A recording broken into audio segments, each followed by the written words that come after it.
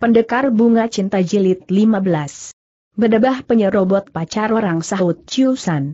Bin bertambah marah, dan dia mengulang serangannya dengan gerak tipu Beng Eng Choan In atau burung Garuda terbang menembus angkasa.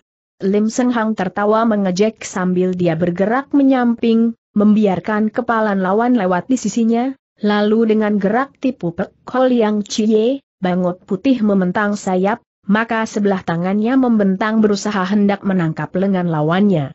Bagus seru Chu San Bin yang dengan tangkas telah membalik telapak tangannya, dan telapak tangan itu lalu menyambar leher lawannya sebelum kena dipegang.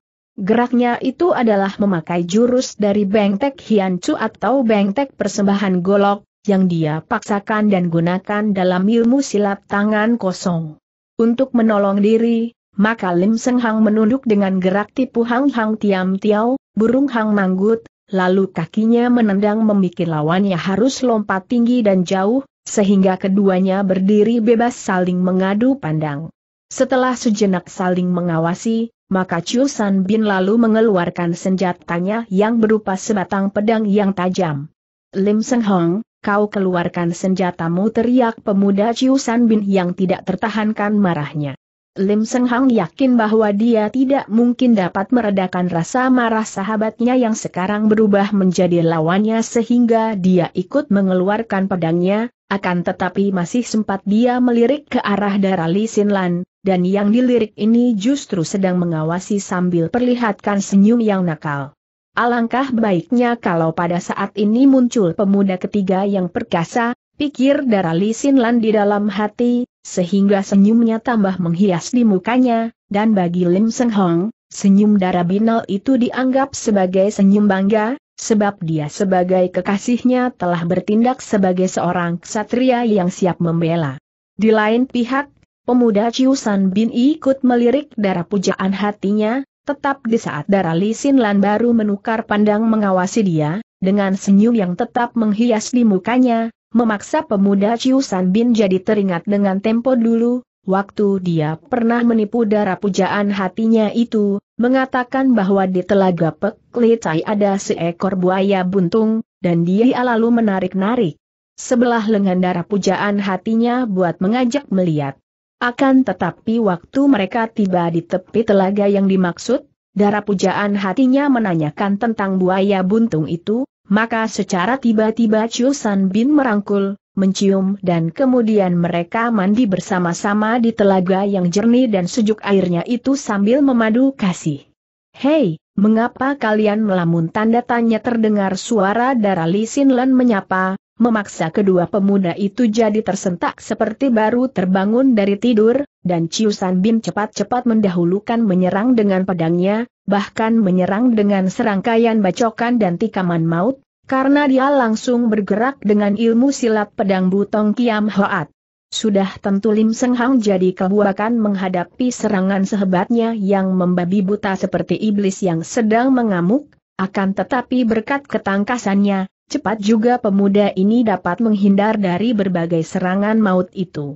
Akan aku buka matamu bahwa ilmu silat pedang golongan Sia Olim kagak boleh dianggap remeh, Lim Seng Hang berkata di dalam hati, kemudian dengan lincah dia mulai melakukan serangan balasan, sehingga di suatu saat dengan gerak tipu tiang Choa Katong, ular keluar dari liang, dia mengarahkan serangannya pada muka lawannya, akan tetapi waktu lawannya menangkis maka terdengar bunyi suara kedua pedang mereka yang saling bentur.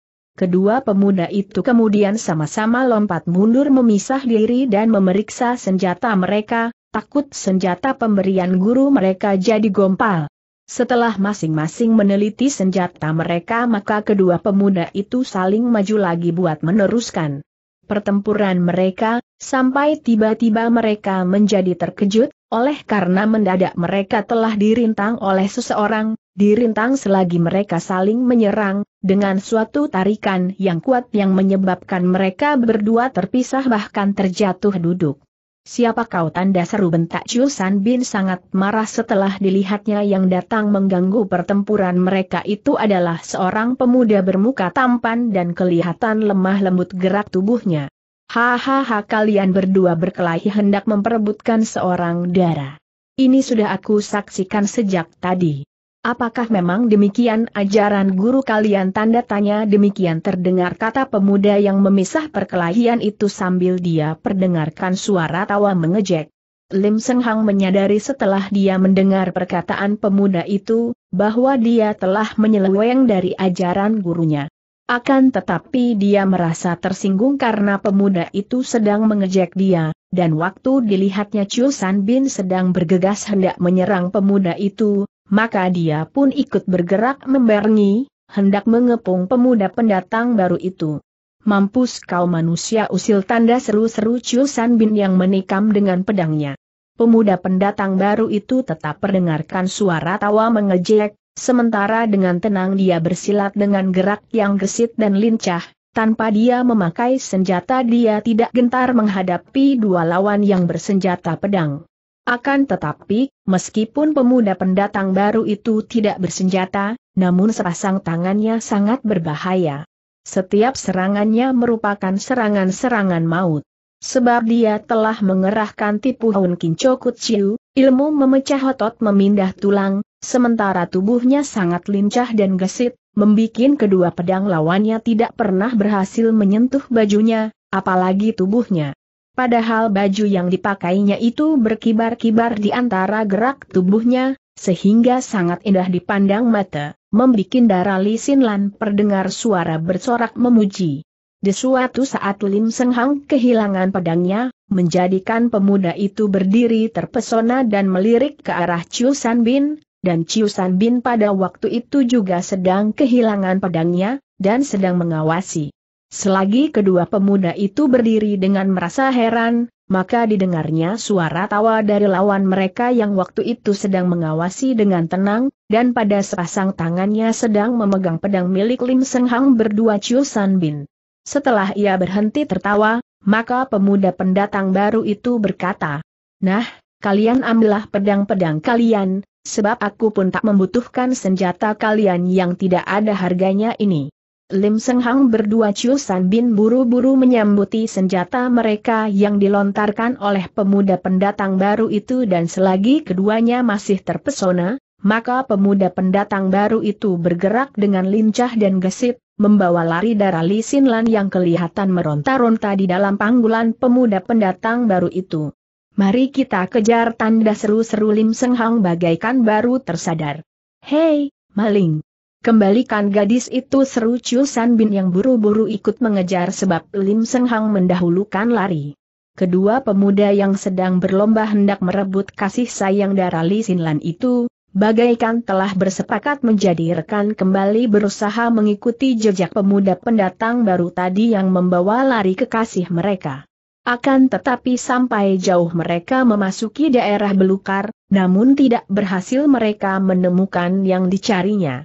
Lim Seng Hang berdua Chu San Bin menjadi gelisah dan cemas karena kehilangan darah Li Sin Lan, terlebih ketika kedua orang tua Li Sin Lan menyalahkan kedua orang pemuda itu yang dianggap sebagai pembawa bencana yang mengakibatkan anak darah mereka menjadi hilang. Di dalam waktu sekejap maka ramai penduduk setempat menghebohkan hilangnya darah Li Lan, bahkan ada orang-orang yang mengatakan bahwa darah Li Lan diculik di rumahnya, waktu darah Binal itu sedang tidur di dalam kamarnya. Dua hari setelah terjadinya peristiwa itu, dan selagi penduduk setempat masih ramai membicarakan tentang hilangnya atau diculiknya darah Li Lan, maka pada malam itu telah lenyap lagi seorang anak darah, sehingga benar-benar merupakan suatu peristiwa yang menakutkan bagi para penduduk setempat, terutama bagi mereka yang mempunyai anak darah. Para penduduk kemudian berdaya dan mengerahkan segenap tenaga mencari jejak penculik atau anak-anak perawan yang diculik, namun usaha mereka ternyata sia-sia belaka. Sementara itu Lim Seng Hang berdua Chu San Bin merasa yakin peristiwa penculikan dilakukan oleh orang yang sama, yakni si pemuda pendatang baru yang pernah mereka tempur dan yang membawa lari darah Li Sinlan. Di dekat perbatasan dusun itu, di jalan yang sunyi dan yang menuju ke atas gunung Pek terdapat sebuah kuil tua yang sudah lama tidak dipergunakan lagi. Adalah berkat hasil penyelidikan Lim Seng Hong, maka pemuda ini mengetahui bahwa kuil tua yang sudah tidak dipergunakan itu, Sekarang sudah ada yang mendiami dan mendapat rawatan meskipun pada bagian luar kuil itu kelihatan tetap tidak terurus, agak menyeramkan karena banyaknya pohon-pohon lebat dan tanaman-tanaman merambat. Tentang penemuannya itu Lim Seng Hang tidak memberitahukan kepada Chu San Bin, sebaliknya seorang diri pemuda itu meneruskan penyelidikannya yakni pada suatu malam yang gelap dia mendatangi kuil itu. Dengan langkah kaki berhati-hati pemuda Lim Seng Hang berhasil lompat naik ke atas genteng, lalu dengan gerak yang ringan dan berlaku waspada, maka pemuda ini meneliti sampai kemudian dia menemukan suatu ruangan yang kelihatan terang dan terdengar suara percakapan dari beberapa orang. Di dalam ruangan itu ternyata sedang berkumpul sejumlah orang laki-laki yang semuanya berpakaian serba hitam dan serba ringkas.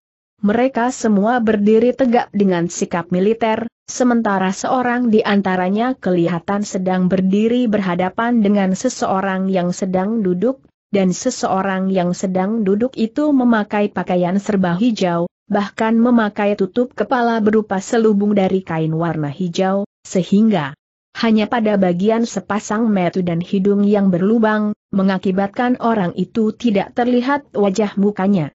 Adalah dari nada suaranya yang agak serak parau, maka diketahui oleh Lim Seng Hang yang sedang mengintai, bahwa orang itu adalah seorang lelaki dan nada suara itu mirip benar dengan nada suara si pemuda yang telah menculik darah Li Sinlan. Pada mulanya Lim Seng Hang ingin segera memasuki ruangan itu, dan menyerang musuhnya yang membawa lari kekasihnya, akan tetapi dia sabarkan diri sebab waktu itu didengarnya lelaki terselubung itu sedang bicara pada orang yang sedang berdiri di hadapannya koma jadi mereka telah membasmi cabang yang di kota Soan Hoa, akan tetapi sayangnya kau tidak mengetahui ke mana tujuannya Bok Leng Siang Jin berdua Niochu. Aku girang bahwa kau memiliki kecerdasan memerintah nomor 13 dan 15 untuk mengikuti jejak orang-orang yang telah melakukan penyerangan terhadap markas di kota Soan Hoa itu, dan aku harap nomor 13 berdua 15 tidak melupakan dengan tanda-tanda yang harus mereka berikan, supaya memudahkan aku menyusul mereka. Sebenarnya aku senang dengan tempat ini dan aku justru bermaksud hendak membangun markas cabang di desa ini, akan tetapi karena adanya urusan ini, maka terpaksa aku harus menunda niat itu, dan selama aku dalam bepergian, aku menghendaki kau mewakilkan kedudukanku dan menjalankan tugas-tugas sesuai seperti apa yang sudah aku tentukan. Sementara itu, Lim Seng Hang sudah merasa habis sabar, dan selagi dia hendak mengatur siasat buat menghadapi musuhnya, mendadak dia mendengar sesuatu gerak yang tidak wajar di dekatnya dan waktu dia meneliti. Maka sempat dilihatnya ada sesuatu bayangan hitam yang sedang bergerak hendak meninggalkan kuil tua itu. Oleh karena teringat bayangan hitam itu mungkin adalah Chu San Bin, maka buru-buru Lim Seng Hang mengejar, akan tetapi bayangan hitam itu bagaikan mengetahui dirinya sedang dikejar, sehingga dia mempercepat larinya, dan kalau Lim Seng Hang tertinggal terlalu jauh, maka bayangan hitam itu menunggu untuk kemudian lari lagi, membikin Lim Seng Hang jadi penasaran karena yakin bahwa bayangan hitam itu sengaja sedang mempermainkan dia. Dengan mengerahkan segala kemampuannya yang ada padanya, Lim Seng Hang terus melakukan pengejaran, Sampai tiba-tiba bayangan hitam itu menghilang, dan Lim Seng Hang tanpa sadar telah berada di dekat rumahnya sendiri. Pada mulanya Lim Seng Hang mencurigai bahwa bayangan hitam itu adalah Chu San Bin yang sengaja telah mengikuti dia. Akan tetapi akhirnya dia ragukan kalau Chu San Bin memiliki ilmu lari cepat yang lebih kemampuan dia. Esok paginya Chu San Bin datang ke rumah Lim Seng Hong, akan tetapi waktu dia diundang untuk duduk, kelihatan jelas bahwa Chu San Bin sedang dalam keadaan marah. Lim Seng Hong, apa yang menyebabkan kau sehingga tadi malam kau mengintai di rumahku apakah kau menyangka Lan Moai berada di dalam rumahku? Demikian terdengar Chu San Bin berkata, tanpa dia mau diundang untuk duduk. Lim Seng Hong berdiri terpesona waktu mendengar tuduhan sahabatnya yang sekaligus menjadi saingannya itu. Padahal semalam dia melakukan penyelidikan di kuil tua, akan tetapi Lim Seng Hang berusaha sabarkan diri dan berkata, Ciu Heng, sebenarnya apa yang telah terjadi tanda tanya. Berdebah, kau jangan berlagak di hadapanku. Kau sengaja mengintai di rumahku, waktu aku keluar dan mengejar, maka kau lari tetapi tidak pulang ke rumahmu. Aku terus saja mengejar akan tetapi kau menghilang sampai kemudian aku lihat kau lari cepat ke arah perbatasan dusun. Sahut Chu San Bin yang agaknya sudah meluap marahnya. Akan tetapi, Chu Heng, aku benar-benar tidak mengintai di rumahmu. Bantah Lim Seng Hang yang kelihatan menjadi gugup. Lalu ke mana kau pergi tadi malam tanya Chu San Bin yang tidak menghiraukan Lim Seng Hang menyangkal. Aku, aku. Lim Seng Hang ragu-ragu mengatakan bahwa semalam dia telah mendatangi dan mengintai sebuah kuil tua di perbatasan.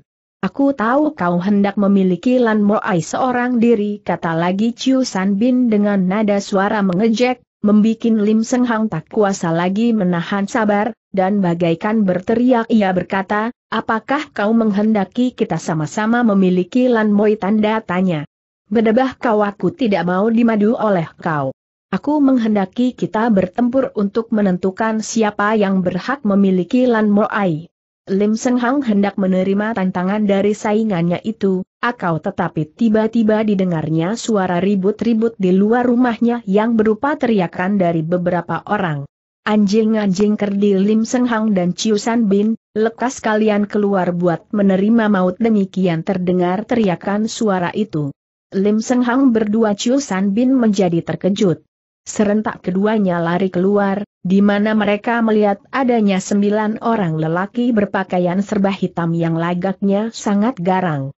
Segera Lim Seng Hang mengetahui bahwa mereka adalah orang-orang di kuil yang semalam dia lihat. Ciu Heng, mereka adalah orang-orang yang berkomplot dengan si penculik Lan Moai, kata Lim Seng Hang dengan suara perlahan kepada Chiu San Bin. Chiu San Bin merasa heran dan tidak percaya, akan tetapi dia menanya. Bagaimana kau mengetahui titik? Semalam aku mengintai di tempat mereka, sahut Lim Seng Hang tetapi dengan suara perlahan. Bagus, marilah kita hadapi mereka setelah itu kita berdua berkelahi buat menentukan siapa yang lebih berhak untuk memiliki Lan Muai, sahut Chu San Bin yang tetap kelihatan marah. Hahaha tanda seru terdengar tawa seseorang dari rombongan orang-orang yang tidak diundang itu yang lalu meneruskan berkata, Koma kalian masih mau memperebutkan perempuan yang telah hilang perawannya tanda seru. Tak dapat Chu San Bin menahan marahnya ketika didengarnya perkataan orang itu, dengan didahului oleh teriak suaranya, maka dia lompat menyerang orang yang mengejek itu, menyerang memakai pedangnya dengan Menggunakan jurus dari Lan Hoan Siam Kiam, tiga pedang saling susul, oleh karena sedemikian lekas dilihatnya orang itu sempat berkelit, maka serangan kedua telah dia kerahkan mencari sasaran kepala orang itu, akan tetapi waktu San Bin merubah arah pedangnya dengan serangan ketiga yang mencari sasaran bagian bawah, antara sepasang paha laki-laki itu. Dalam kagetnya laki-laki itu berusaha loncat tinggi buat menghindar, akan tetapi dia kalah cepat dan betisnya terkena tikaman pedang Ciusan Bin, sampai betis itu berdarah dan dia berteriak kesakitan. Maksud hatinya, ingin benar Ciusan Bin menyerang lagi supaya maut menjadi bagian orang itu, akan tetapi niatnya tidak dapat dialaksanakan, sebab dia justru harus lompat menghindar ke samping kiri, karena diketahuinya ada seorang musuh yang telah membokong dia. Bagus, kau hendak mewakilkan dia berangkat ke neraka. Tanda seru-seru Chu San Bin, sementara pedangnya dengan pesat telah bergerak menggunakan jurus pelangi menutup matahari, Pek Hang Kuan Jit, akan tetapi waktu lawan itu hendak menangkis pedang yang sedang mengarah bagian kepala, maka tiba-tiba Chu San Bin telah membatalkan serangannya, sebaliknya kakinya menendang tepat pada betis lawan itu sehingga lawan itu rubuh terguling, dan tempatnya segera diganti oleh rekannya yang harus bertempur menghadapi Chu San Bin. Di lain pihak, dengan memakai jurus pengsilogan, burung belibis turun di pasir, maka Lim Seng Hang telah terjun pula ke dalam arna pertempuran, sehingga di saat berikutnya dia telah dikepung melawan tiga orang musuh namun tanpa gentar dia perlihatkan kemahiran ilmu silatnya, sedangkan di dalam hati dia merasa iri karena melihat dalam sekejap saingannya telah berhasil mengalahkan dua orang lawannya. Gerak pedang Lim Seng Hang bagaikan ular yang berbelit karena sesungguhnya dia telah merubah cara bertempurnya, memakai jurus-jurus ilmu silat pedang Go Heng Kiam Hoat yang khas diciptakan oleh kaum Xiao Lim yakni pada pecahan ilmu silat ular atau Choakun. Sebenarnya tidaklah diketahui oleh Lim Seng Hang berdua Chiu San Bin, bahwa rombongan musuh itu sebenarnya merupakan gerombolan dari Hang Bie Kau Chu, oleh karena pada baju mereka terdapat gambar kepala binatang rasa warna putih dalam suatu lingkaran. Jauh dari kota Keihong, Gan Hang Biye berdua istrinya sedang melakukan perjalanan menuju ke kota Oe Ikitin yang hendak memenuhi undangan dari Pangeran Kim Lun Ho Atong, oleh karena pangeran yang sedang mengumpulkan tenaga buat melakukan pemberontakan itu sudah cukup mengetahui tentang kegagahan Kei Hang Siang Koai atau sepasang kejadian dari Kei Hang yang terkenal kejam dan banyak memiliki akal muslihat. Kepada suami istri ini, maka Pangeran Kim Lun bersepakat bahkan memberikan biaya secukupnya buat Gan Hang Biye berdua istrinya membentuk suatu persekutuan dengan memakai nama Hang Bie Pang, yang maksudnya hendak mengumpulkan sebanyak mungkin orang-orang gagah dari golongan hitam, buat mendukung gerakan yang akan dilakukan oleh Kim Lun Ho Atong, dan sebagai pusat dari markas Hang Biepang, maka telah dipilih tempat jauh di perbatasan kota Ganbun Koan, di dalam wilayah kekuasaan bangsa Watzu oleh karena dalam rencana gerakannya itu. Kim Lun Ho Atong mengikut sertakan bangsa Watzu yang sudah menyatakan kesediaan untuk mendukung sepenuhnya.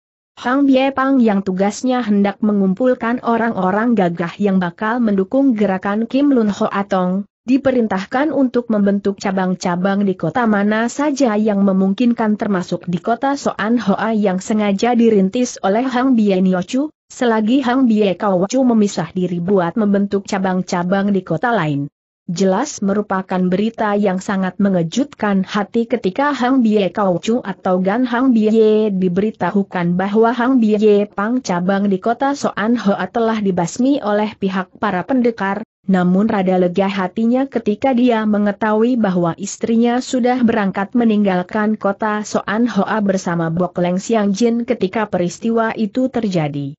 Waktu menerima laporan dari anak buahnya yang membawa berita, sengaja Gan Hang Biai menyesali bahwa yang membawa laporan itu tidak mengetahui ke mana tujuan Bok Leng Siang Jin berdua Li Blienio, padahal Gan Hang Biai sudah mengetahui bahwa istrinya pasti akan diajak pulang ke markas pusat Hang Biai Pang, oleh karena Bok Leng Siang Jin yang sengaja menyusul, pasti membawa berita penting yang diperoleh dari Kim Lun Ho atau Hasrat hatinya ingin benar Gan Hang Bie mengejar pihak musuh yang telah membasmi markas Hang Bie Pang cabang kota Soan Hoa, akan tetapi oleh karena dia menyadari betapa pentingnya berita yang dikirim oleh Kim Lun Ho Atong, maka dia memutuskan akan ikut berkumpul dengan istrinya dan dengan Bok Leng Xiong Jin. Tempat yang berupa sebuah kuil tua di Dusun Pek Chung, terpaksa dia tinggalkan untuk diurus oleh anak buahnya, Meskipun cabang Hang Bie Pang di dusun itu belum secara resmi dibentuk, di samping itu dia juga terpaksa harus meninggalkan darah Li Lan yang menjadi rebutan dua pemuda Chiu San Bin dan Lim Seng Hong. Dara Li Lan memang telah menyaksikan kegagahan si pemuda pendatang baru yang dengan mudah mengalahkan dua pemuda yang sedang berlomba hendak merebut cinta kasihnya.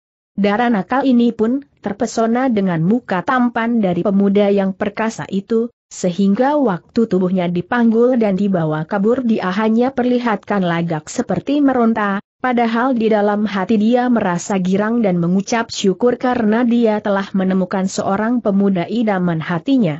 Dara Lisin Lan tidak mengetahui bahwa adalah menjadi kebiasaan Gan Hang Bie yang selalu mengganti wujud melakukan penyamaran, kalau dia sedang melakukan pekerjaan dan harus bertemu dengan orang-orang, itu sebabnya tidak banyak orang yang mengetahui tentang wujud yang sebenarnya dari Gan Hang Bie alias Hang Bie Chu, yang sebenarnya usianya sudah tidak muda lagi. Cara dia melakukan penyamaran adalah dengan memakai semacam topeng yang dibikin dari bahan yang mirip dengan kulit manusia, sehingga umumnya tidak mudah buat seseorang mengetahui bahwa Gan Hang Bie sedang melakukan penyamaran. Gan Hang Bie dalam wujud penyamaran sebagai seorang pemuda yang tampan membawa darah Li Lan ke kuil tua yang dijadikan tempat kediamannya. Dia tertawa tak hentinya waktu diketahuinya darah nakal yang menjadi rebutan dua orang pemuda itu, ternyata dengan rela telah menyerahkan diri dan memberikan kepuasan buat dia. Akan tetapi adanya urusan lain yang lebih penting, maka terpaksa Li Lan ini juga ditinggalkan, dan pagi itu secara tergesa-gesa Gan Hang Biye berangkat menuju perbatasan kota Gan Bun Koan. Sementara itu, pertempuran yang sedang dilakukan oleh dua pemuda Lim Seng Hang dan Chiu San Bin yang melawan kelompok orang-orang Hang Bie Pang, masih terus berlangsung dan Lim Seng Hang tetap mengerahkan ilmu Gao Heng Kiam Hoat untuk dia mengimbangi diri dari tiga orang pengepungnya. Akan tetapi waktu musuh keempat ikut memasuki arena pertempuran, maka jelas kelihatan bahwa pemuda Lim Seng Hang menjadi terdesak. Kalian kawanan pengecut yang hanya bisa mengepung, teriak Lim Seng Hang dengan geramnya, akan tetapi seorang lawan yang memakai senjata kolo Pian, cambuk kepala tengkorak, dengan tawa mengejek dia berkata, Kalian berdua justru adalah cacing-cacing kepanasan yang harus mampus tanda seru. Sehabis berkata begitu, maka orang itu telah mengatur serangannya memakai senjatanya yang istimewa, sebab pada mulut kepala tengkorak yang bolong terbuka kelihatan ada sebarisan gigi-gigi tengkorak yang sebenarnya mengandung bisa racun maut. Di dalam hati Lim Seng Hang menjadi cemas menghadapi lawan ini, yang dia anggap merupakan lawan yang terkuat. Pada kesempatan yang dia peroleh maka pemuda Lim Seng Hang itu melirik kepada saingannya yang saat itu menjadi rekan seperjuangannya, dan ternyata waktu itu Chu San Bin sedang dikepung oleh empat orang lawan, sebab musuh yang kena tendang tadi, ternyata telah ikut melakukan pengepungan, sedangkan musuh yang tertikam betisnya sedang berdiri menonton pertempuran itu dengan perlihatkan muka mengejek penuh dendam. Di saat Lim Seng Hang sedang melirik ke arah rekannya, secara tiba-tiba seorang lawannya menyerang dia dengan suatu serangan yang berbahaya, membuat pemuda ini harus cepat-cepat berkelit menyamping, sementara tanpa memutar tubuh, pedangnya memapas dengan gerak tipu dari samping menggempur gunung, siapa Taisan. Sebagai hasil dari gerak serangannya itu, maka Lim Seng Hang berhasil membuat kepala lawannya menjadi terpisah dari batang lehernya, sehingga Lim Seng Hang terkena hujan darah yang berhamburan, mengakibatkan bulu-bulu badannya pada bangun sebab baru untuk pertama kalinya itu dia membunuh jiwa manusia. Musuh yang bersenjata cambuk tengkorak, Kalau Pian, berteriak karena marah. Selanjutnya kemudian bergerak bagaikan hendak menikam dengan tipu In Heng Chinia, awan menutup bukit Chinia, akan tetapi waktu Lim Seng Hang berhasil menghindar dari serangannya itu, maka sekali lagi musuh itu melakukan penyerangan, memakai jurus Soat yang Lankuan, salju menutup kota Lankuan. Dalam kagetnya Lim Seng Hang berusaha menghindar dengan menunduk, akan tetapi ikat kepalanya terkena sabetan senjata lawannya, sehingga ikat kepala itu putus, bahkan sebagian rambutnya ikut kena jadi sasaran, copot sampai pada akar-akarnya. Keringat dingin membasahi tubuh Lim Seng Hang yang hampir direnggut maut sedangkan waktu itu pemuda Chiu San Bin juga sedang menghadapi ancaman bahaya, karena lengan kiri pemuda itu sudah terkena tusukan golok seorang musuh, membikin lengannya itu berdarah dan tenaganya menjadi berkurang. Pada babak pendahuluan pemuda Chiu San Bin telah berhasil mengalahkan dua lawan, membikin dia merasa bangga dengan ilmu kepandaiannya dan menambah semangat tempurnya. Akan tetapi waktu kemudian dia dikepung oleh empat musuh, sedangkan bekas pecundangnya yang terluka selalu perdengarkan teriak suara mengejek maka kedudukan Ciusan Bin berubah menjadi pihak yang didesak. Kegesitan dan kelincahan tubuhnya telah berkurang banyak karena Ciusan Bin merasa tenaganya hilang, akibat darah yang masih terus mengalir keluar dari luka pada lengan kirinya. Dia hanya mampu bertahan akan tetapi tidak sanggup melakukan serangan balasan kepada para pengepungnya. Kalau toh sampai sedemikian lamanya pihak musuh belum dapat mengalahkan dia, melulu sebab pemuda itu telah menutup diri dengan pedangnya yang berputar memakai jurus-jurus bertahan dari Butong Kiam Hoat, satu ilmu silat pedang golongan Butong Pei. Pada detik-detik yang berbahaya bagi keselamatan kedua pemuda itu, maka tiba-tiba datang seorang penunggang kuda yang mendekati tempat pertempuran itu. Baik Lim Seng Hang maupun Chiu San Bin yang sempat melirik atau melihat orang baru datang itu, menjadi terkejut dan mengeluh, sebab habislah sudah harapan mereka buat melihat dunia atau buat bertemu lagi dengan Dara Li Sinlan yang menjadi kekasih mereka berhubung yang baru datang itu ternyata adalah seorang laki-laki muda yang wajah mukanya sudah tidak asing lagi buat kedua pemuda itu, yakni wajah muka pemuda yang pernah mengalahkan mereka berdua dan yang membawa kabur Dara Li Sinlan. Tanda seru. Akan tetapi, sesuatu yang mustahil, dalam anggapan kedua pemuda itu, telah terjadi sebab pemuda yang baru datang itu dengan geraknya yang lincah dan indah telah lompat turun dari kudanya, menyiapkan goloknya dan bagaikan harimau galak dia memasuki arena pertempuran, menyerang bagaikan banteng mengamuk dengan mengarahkan pihak orang-orang yang sedang mengepung Lim Seng Hang berdua Chu San Bin. Meskipun mereka merasa heran karena tidak mengerti namun datangnya si pemuda itu sangat menguntungkan pihak Lim Seng Hang berdua Chu San Bin yang jadi ikut mengamuk, bangkit lagi semangat tempur mereka sehingga pihak musuh akhirnya kabur terbirit-birit, bahkan ada yang tewas dan yang ditinggalkan oleh kawan-kawan mereka. Sejenak Lim Seng Hang berdua Chu San Bin sempat mengatur pernapasan mereka, Sambil mereka memperhatikan pemuda pendatang baru yang telah membantu mereka, yang pada saat itu sedang melangkah mendekati. Dengan suatu tanda bersama, secara tiba-tiba Lim Seng Hang berdua Chu San Bin bergerak menyerang pemuda pendatang baru itu. Meskipun sedang tidak siaga, akan tetapi pemuda yang diserang itu sempat berkelit dengan lompat mundur. Jelas pemuda itu menjadi sangat heran dengan sikap kedua laki-laki yang baru dibantunya itu, yang sekarang berbalik menyerang dia, bukan mengucap terima kasih. Akan tetapi, dengan sikapnya yang sabar pemuda itu menanya. Jie Wei Heng Tue, mengapa kalian menyerang aku penculik, berdebah, jangan kau jual lagak bentak Ciu. San Bin yang lagi-lagi telah mengulang dengan melakukan penyerangan memakai pedangnya. Sekarang pemuda pendatang baru itu tidak lagi berkelit. Dengan tetap berdiri di tempatnya, dia mengangkat goloknya dan berhasil menempel pedangnya Chu San Bin yang lalu ditekannya, sementara dengan tangan kirinya dia berhasil pula menangkap nadit tangan Chu San Bin yang memegang pedang, dan di saat berikutnya Chu San Bin melepaskan pedangnya dengan muka meringis menahan rasa sakit. Katakan, apa arti kata penculik dan berdebah yang kau sebutkan tadi kata pemuda pendatang baru itu? Di lain pihak, Lim Seng Hang tetap berdiri terpesona di tempatnya. Pemuda ini sempat menggunakan pikirannya yang sehat, dan dia dapat membedakan nada suara pemuda yang baru datang itu dengan pemuda yang menculik darah Li Sinlan. Akhirnya Lim Seng Hang mengangkat kedua tangannya, memberi hormat meskipun pedangnya masih tetap dipegangnya, dan dia berkata dengan suara yang ramah.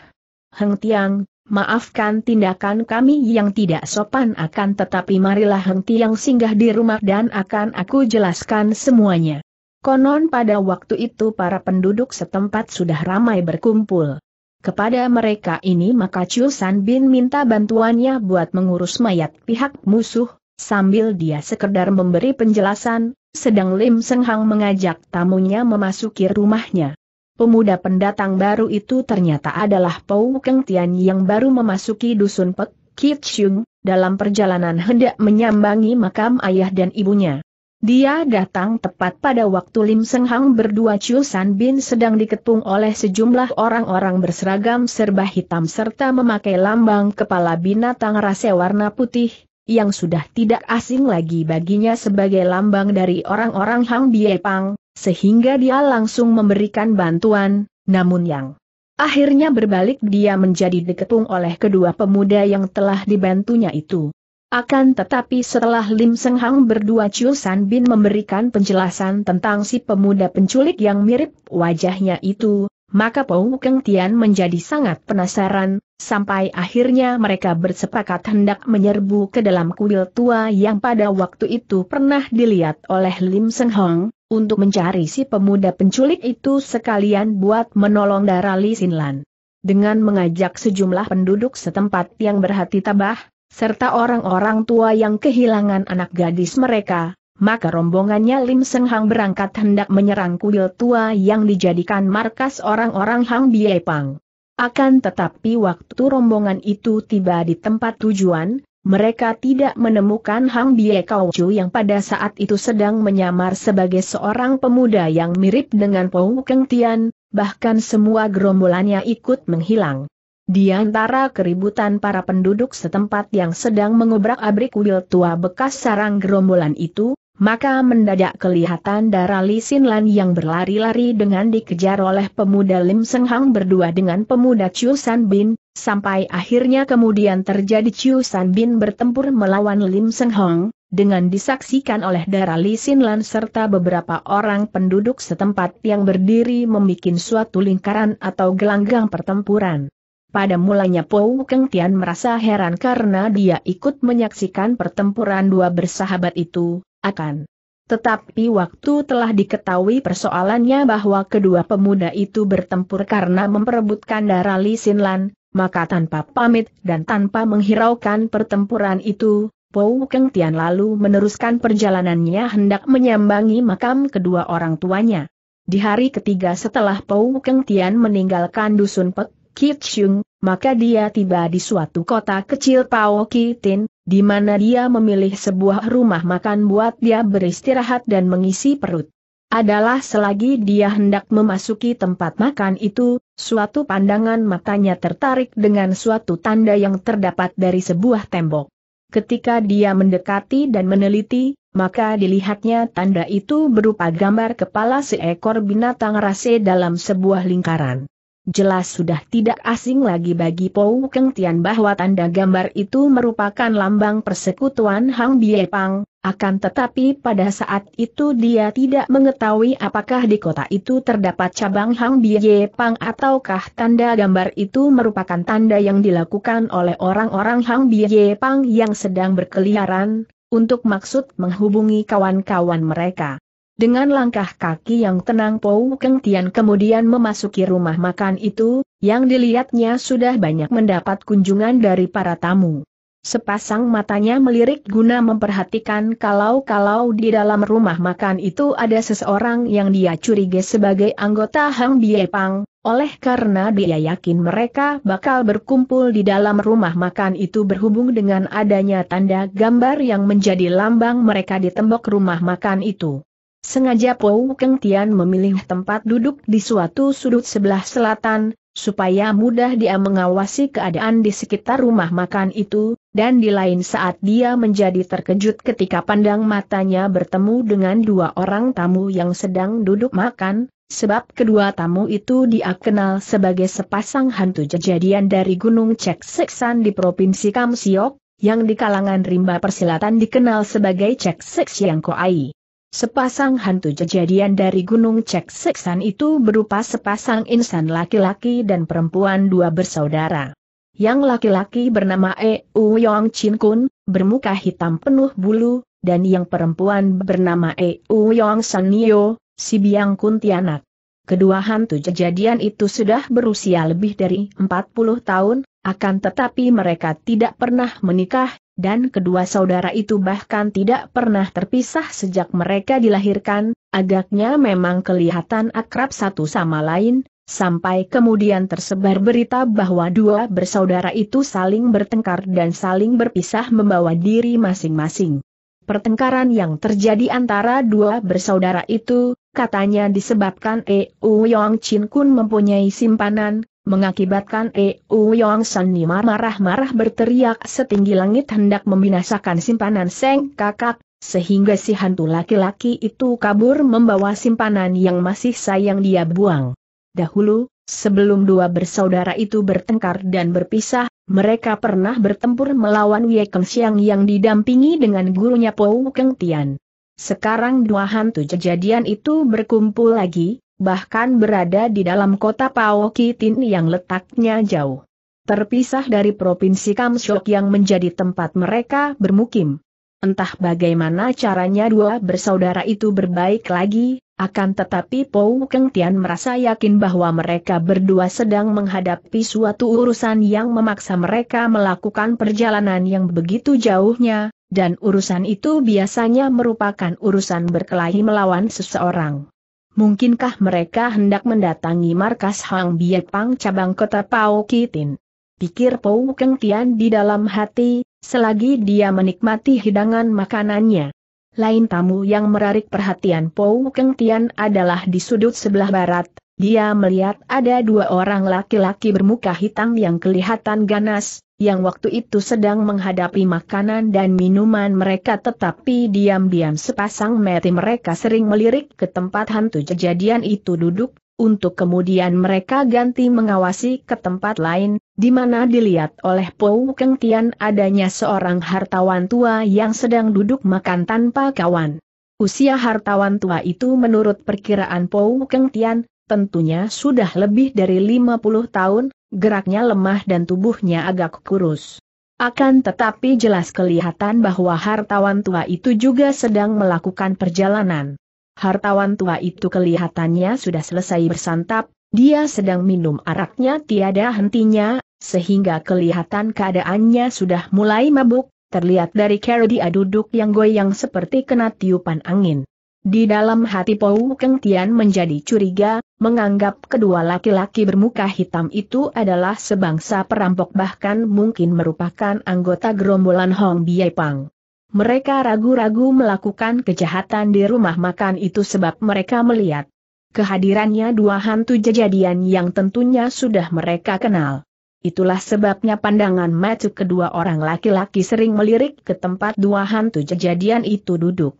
Di lain saat mendadak pandangan mata kedua laki-laki bermuka hitam itu bertemu dengan pandangan mata Pou Keng Tian yang juga sedang mengawasi mereka. Untuk sejenak kedua pihak saling mengawasi, dan laki-laki bermuka hitam itu seperti kaget, namun pada saat Pou Keng Tian sudah mengalihkan pandangannya ke arah lain, oleh karena dia segan mencari urusan selagi dia hendak cepat-cepat mencapai tempat tujuan buat menyambangi makam kedua orang tuanya, setelah itu dia bermaksud mencari Hang Bie Kau Chu berdua Hang Bie Nio Chu, buat dia membalas dendam orang tuanya. Kemudian melihat oleh Pou Keng Tian bahwa sepasang hantu kejadian Eu Yong Chin Kun dan Eu Yong San Nima meninggalkan rumah-rumah itu. Menyusul kemudian si hartawan tua yang juga pergi dengan mengambil arah yang sama dengan sepasang hantu kejadian dari Cek Seksan tadi. Celaka koma teriak Pou Keng Tian di dalam hati, sebab di lain saat dilihatnya kedua laki-laki bermuka hitam itu juga telah pergi dengan mengambil arah yang sama. Sebagai seorang ksatria, hasrat hatinya ingin benar Pou Keng Tian mengikuti hartawan tua itu buat dia memberikan perlindungan sekiranya, benar-benar hartawan tua itu akan dihadang oleh kedua laki-laki bermuka hitam tadi, akan tetapi mendadak dia teringat lagi dengan urusannya sendiri, sehingga akhirnya Pou Keng Tian membatalkan niatnya, dan dia tetap duduk menghadapi makanannya. Adalah setelah dia menyelesaikan santapannya, maka Pou Keng Tian meneruskan perjalanan dengan kudanya, dan di suatu jalan persimpangan dia memilih arah sebelah barat, yang tanpa dia ketahui dia justru mengambil arah yang bersamaan dengan mereka yang telah mendahulukan dia meninggalkan rumah makan tadi. Jalan pegunungan yang kemudian dia tempuh, kelihatan indah mempesona, jauh dari keramaian dan suasana kota, sedangkan angin meniup sepoi-sepoi menyegarkan badan mengiringi perjalanan Pou Keng Tian, sehingga sekilas dan secara mendadak dia menjadi teringat dengan dua daragan Leng Soan dan Kua Leng Chu, yang pernah melakukan perjalanan bersama-sama bahkan memberikan kesan indah sehingga sampai berulang kali Pou Keng Tian mengalami mimpi yang tak mungkin dia lupakan selama hidupnya. Pou Keng Tian melarikan kudanya perlahan-lahan sambil diam lamun, sehingga telinganya tidak segera mendengar adanya bunyi suara senjata yang saling bentur, sampai tiba-tiba dia terkejut ketika di hadapannya membentang suatu medan pertempuran yang dahsyat, di mana darah telah membasahi bumi dan mayat-mayat telah membujur kaku.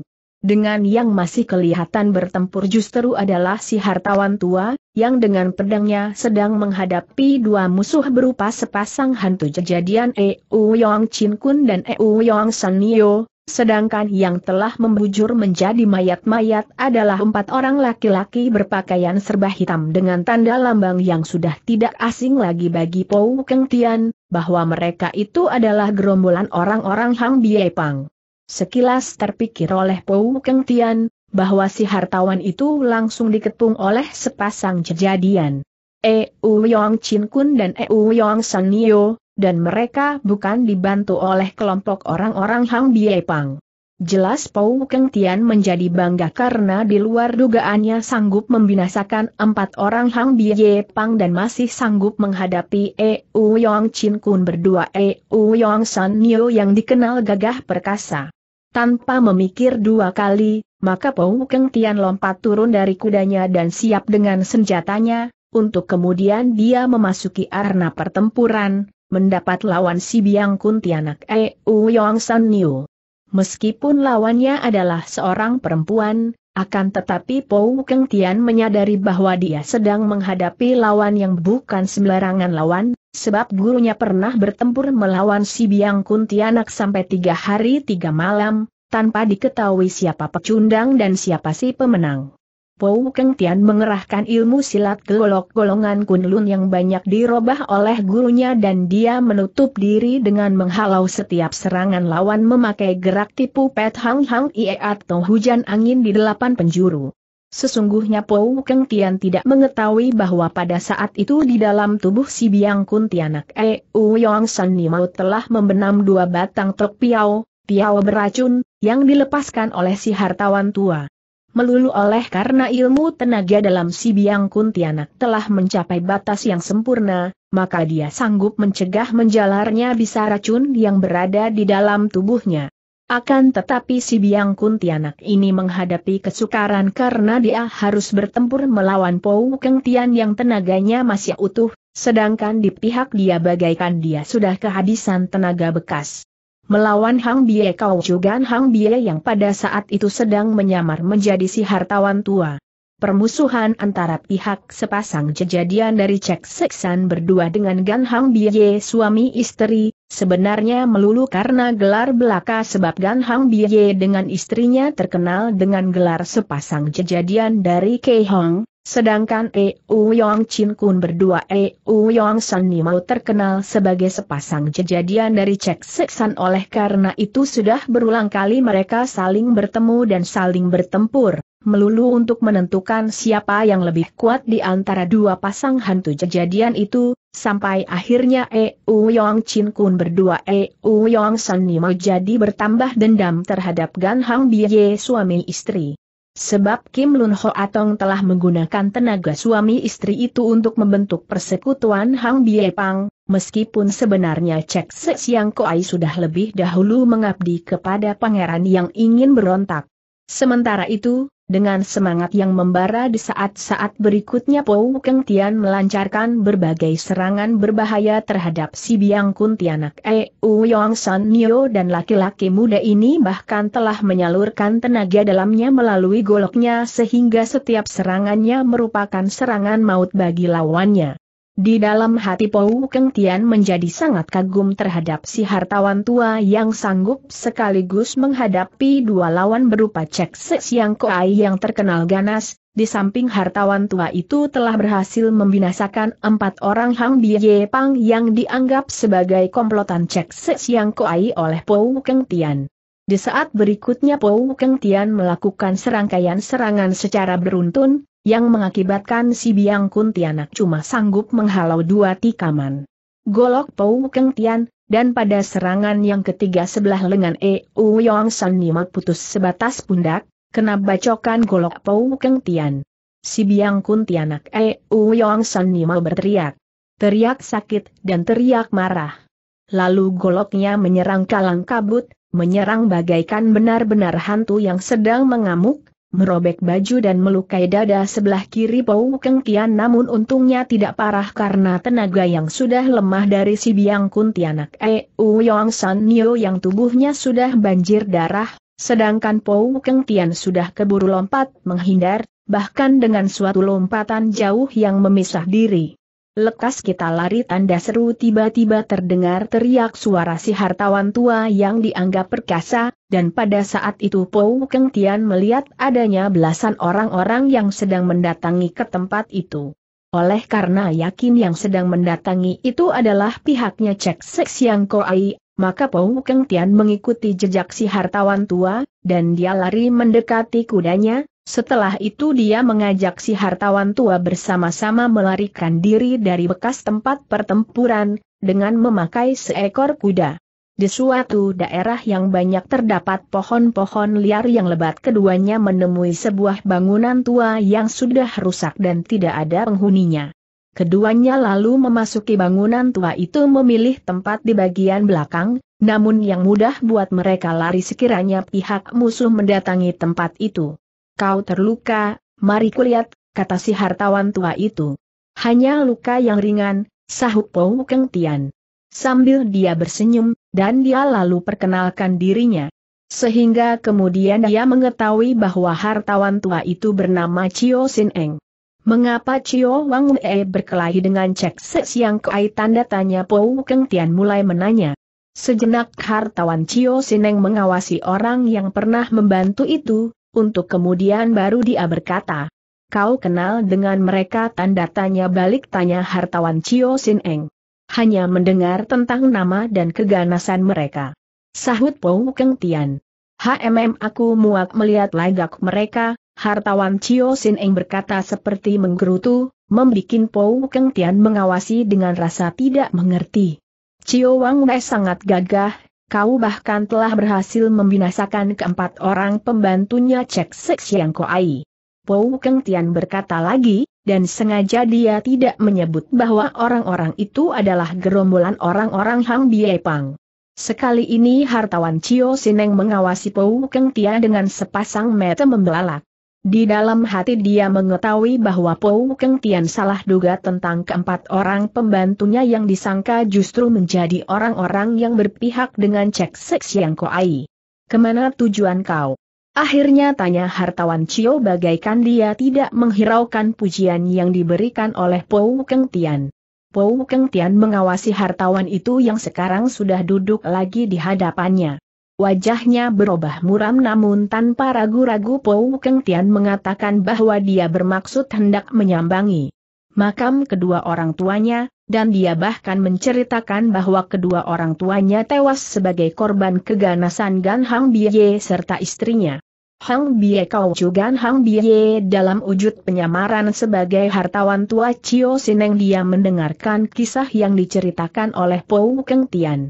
Pada wajah mukanya tidak kelihatan perubahan apa-apa, sebab dia memakai topeng sehingga tidak mungkin kelihatan, akan tetapi pada sinar matanya terlihat jelas mengandung kebencian, kemudian berubah marah bagaikan mata iblis yang siap menyebar maut, namun di saat lain sepasang metu itu berubah lagi menjadi bersinar hampa mungkin disebabkan dia teringat bahwa Pou Keng Tian pernah berjasa habis membantu dia bertempur melawan Cek Se Siang Koai yang tidak mudah diakalahkan, bahkan kemungkinan dia sendiri yang bakal dikalahkan, terbukti keempat orang pembantunya telah ditewaskan oleh Cek Se Siang Koai.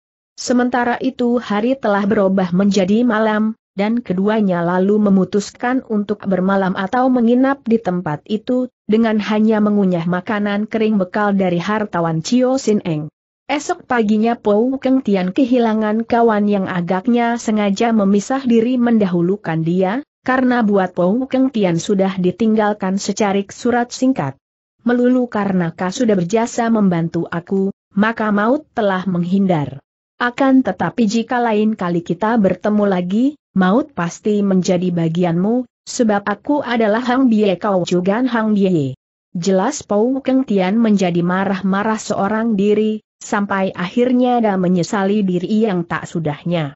Dia telah mempunyai kesempatan bertemu dengan musuh yang telah membinasakan ayah dan ibunya, akan tetapi mengapa dia justru membantu musuh itu, bukannya dia membantu cek Siang Koai agar tidak susah-susah dia membinasakan musuh itu? Rasa penasaran telah menyebabkan Pou Keng Tian membatalkan niatnya hendak menyambangi makam ayah dan ibunya, dan dia ingin menyusul musuh yang sudah dia ketahui berwujud seorang hartawan tua Chio Sin Eng yang dia yakin belum jauh terpisah dari tempat itu, sehingga masih ada kemungkinan untuk melakukan pengejaran, sebab musuh itu berjalan kaki sedang dia naik kuda. Tergesa-gesa Pou Keng Tian meninggalkan bangunan tua, memilih arah sebelah utara karena dia yakin tidak mungkin Gan Hang Bie menempuh perjalanan ke arah sebelah selatan, yang merupakan tempat bekas kemarin mereka melakukan pertempuran. Pou Keng Tian larikan kudanya secepat yang dia mampu lakukan, akan tetapi sepasang matanya memperhatikan setiap orang yang pernah ditemui di tengah perjalanan itu.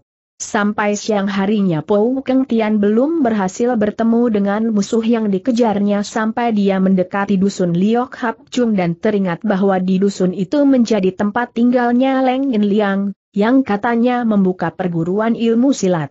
Leng In Liang pernah ikut mengganyang markas Hang Biepang cabang kota Soan Hoa sehingga Pou Keng Tian merasa perlu singgah di tempat guru silat yang tinggi ilmunya itu, buat dia memberitahukan tentang Hang Bie Kau Cugan Hang Bie yang wujudnya telah diketahui oleh Pou Keng Tian, sementara orang-orang lain belum pada mengetahui tentang gembong Hang Bie Pang yang hendak dibasmi itu. Waktu masih berkumpul dengan Choa Giok Seng dan dengan lain-lain saudara seperguruannya di kota Soan Hoa, waktu itu Pou Keng Tian tidak menanyakan yang tepat tentang tempat tinggalnya Leng In Liang, dia hanya mengetahui bahwa guru silat itu menetap di dusun Liok Hap Chung, oleh karena itu maka Pou Keng Tian merasa perlu untuk menanya kepada seseorang buat dia bertemu dengan guru silat itu. Di dekat Gunung Lemsan yang letaknya sedikit di luar dusun Liok Hap Chung, Pou Keng Tian melihat ada sebuah kedai arak yang juga menjual nasi, dan Pou Keng Tian singgah di kedai arak itu, untuk dia makan siang sambil dia hendak menanyakan keterangan perihal tempat tinggalnya Leng In Liang.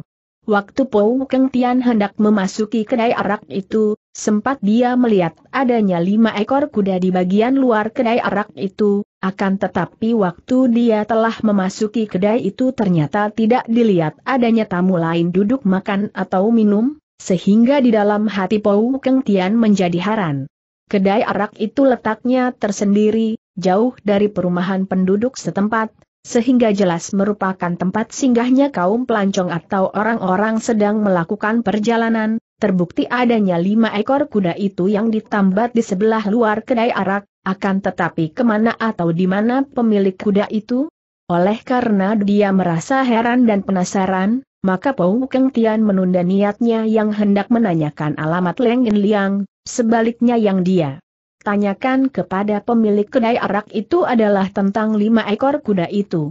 Sejenak pemilik kedai arak itu mengawasi tamunya dan sekilas dia kelihatan ketakutan.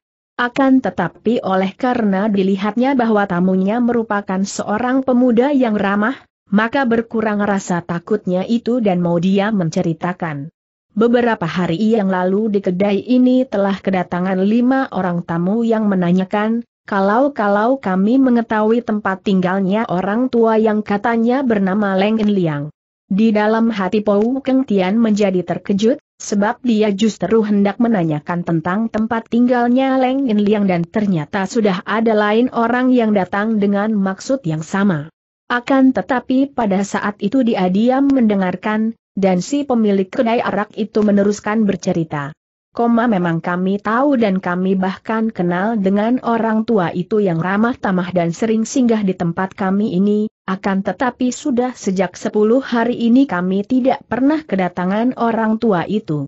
Si pemilik kedai itu berhenti sebentar, sebab dia merasa perlu buat melirik ke arah sebelah luar kedai, akan tetapi oleh karena memang tidak ada lain orang dan tidak tahu tamu baru yang datang, maka dia meneruskan perkataannya. Titik keterangan ini kami berikan kepada kelima orang tamu itu, yang semuanya terdiri dari orang laki-laki yang kelihatannya gagah perkasa akan tetapi salah seorang yang rupanya berwatak pemarah, tidak percaya dengan keterangan yang kami berikan. Tiba-tiba dia memegang lengan bajuku dan dia mendorong memikin aku terperosot. jatuh dengan kepala membentur tiang yang kebenaran ada. Pakunya. Waktu peristiwa kelima orang tamu itu datang dan menanyakan keterangan perihal Leng In Liang, di dalam kedai itu terdapat lain rombongan tamu yang terdiri dari seorang pemuda yang mukanya pucat seperti mayat hidup, ditemani oleh dua orang lelaki jangkung bermuka hitam bengis, namun pakaian kedua orang lelaki itu serba putih, mirip seperti jubah seorang pendeta. Dengan langkah kakinya yang tenang, pemuda yang bermuka pucat seperti mayat hidup ini kemudian mendekati lelaki yang mendorong si pemilik kedai, lalu dengan nada suara yang parau dan mengejek dia berkata, Koma kalau aku tidak salah lihat, kalian berlima adalah asal dari kota Kim An, atau anak-anak haram yang mengaku bersaudara dan menyebut diri sebagai Kim An Go Kiat. Koma siapa gerangan yang tidak akan marah kalau mendengar seseorang memaki atau mengejek dengan kalimat kata-kata haram?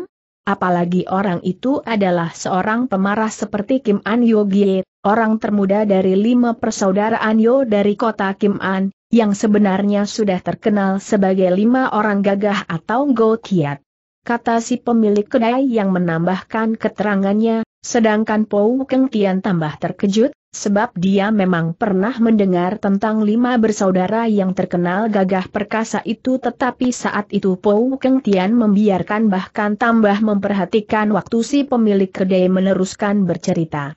Titik dengan perdengarkan pekik kemarahan yang meluap, maka Kim An Yugie menyerang si pemuda bermuka pucat itu dengan kepelan tangan kanannya, tepat mencapai sasaran pada perut si pemuda bermuka pucat itu, akan tetapi, tahukah Siang Kong apa yang telah terjadi? Si pemilik kedai itu menanya kepada tamunya, dan waktu dilihatnya Pou Keng Tian hanya bersenyum menganggap si pemilik kedai itu lucu atau jenaka, maka si pemilik kedai lalu meneruskan lagi perkataannya. Koma yang kena pukul tidak semaput bahkan dia tetap berdiri di tempatnya sebaliknya Kim An Yugie yang berteriak bagaikan orang kesakitan, Sementara darah kelihatan mengalir keluar dari tangan kanannya. Go Te, awas teriak Yotoa atau Kim An Go Kiat. Yang tertua, sebab sejak tadi Yotoa memperhatikan si pemuda yang seperti mayat hidup itu, terutama pada baju bulu yang dipakainya. Bulu-bulu pada baju itu kelihatan sangat istimewa, tegak berdiri seperti tajam duri-duri landak.